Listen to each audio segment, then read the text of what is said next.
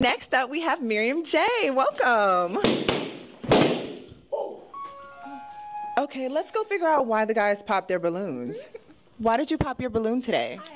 Um, just took three steps, and I don't like people that are extra like her, like too extra.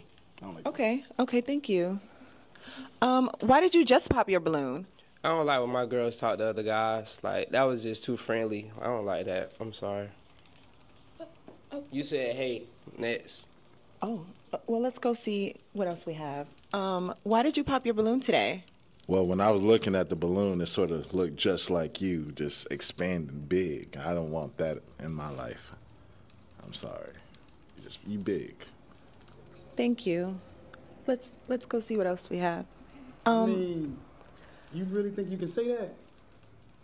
That's cool. why did you pop your balloon today? She got eyes, and she can see other people. Dudes, I can't have that. Okay. Okay. Okay. Well, there's still hope.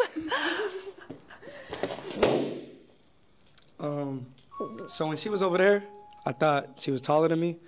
We the same height. I like my women taller than me. And her legs straight. She probably might walk out my life, and I can't go for that. Wow, okay. No luck today, but you know, maybe next time. Thanks for joining us.